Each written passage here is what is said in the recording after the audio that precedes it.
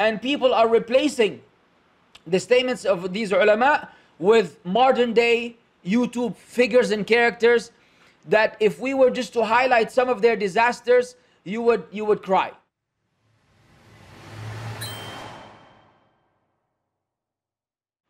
At the time of ease, they call on to their uh, uh, false gods. The mushrikeen today, they call on uh, on their false gods and their their the dead people at, at both times of ease and a time of, of comfort.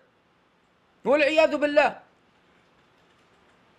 So the reality is this is within the Muslims.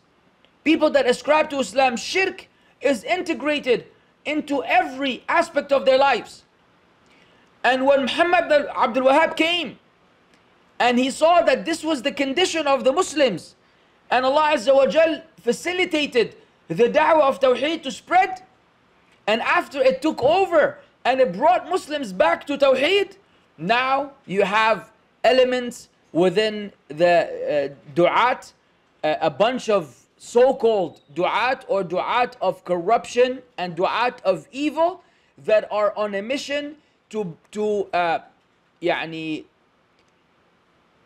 assassinate his character, discredit him, undermine him, uh, call him names, make him uh, uh, a terrorist, and it's unbelievable how those people uh, have the audacity and the bravery to go against the senior scholars whom Allah Azza wa has given acceptance for them on earth, who behave in the way they're supposed to behave with sincerity and ikhlas and people are replacing the statements of these ulama with modern day YouTube uh, uh, uh, figures and characters that if we were just to highlight some of their disasters you would you would cry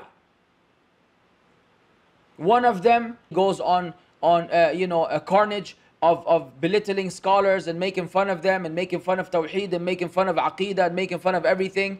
Just an absolute bulldozer. May Allah Azza wa Jal guide him.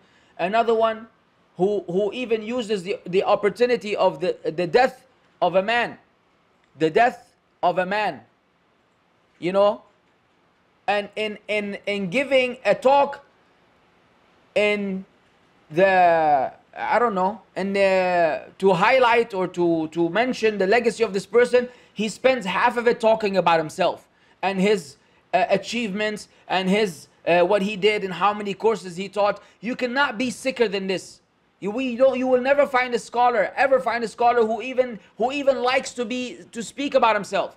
The ulama, when someone starts praising them, they say, "Hey, hey, be quiet. Khalas, enough, enough." I will challenge you, find any time, Sheikh bin Baz, Sheikh bin Uthaymeen, Sheikh Muhammad Mukhtar Shanqiti, anytime somebody tries to praise them, they don't even allow them to finish.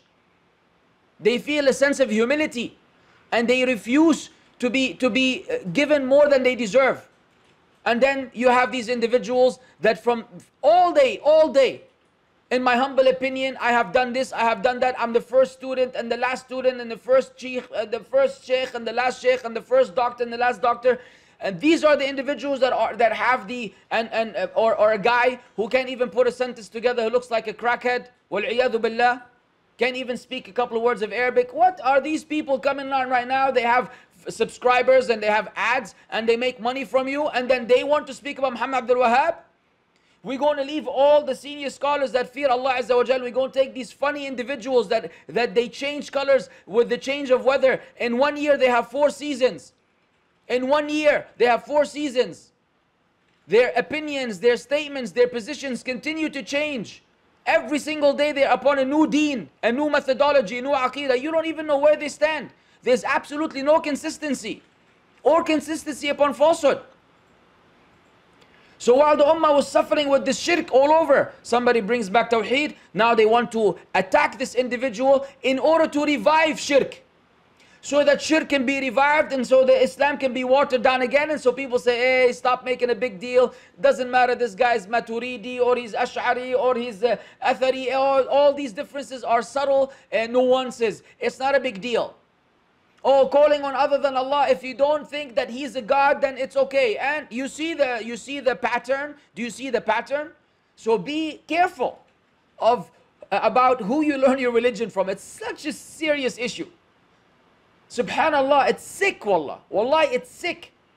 But that's why you always refer back to the Quran because the Quran is your anchor.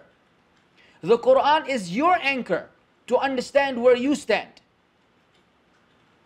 أما يجيب المضطر إذا دعاه No one will respond to the desperate one when you call upon him but Allah Azza wa Jal. So we are the people of Tawheed. We beg Allah Azza wa Jal to make us live among the people of Tawheed and die among the people of Tawheed. There isn't a more virtuous uh, trait you can meet Allah Azza wa Jal with than that being a muwahid of Allah, having not associated partners with Him.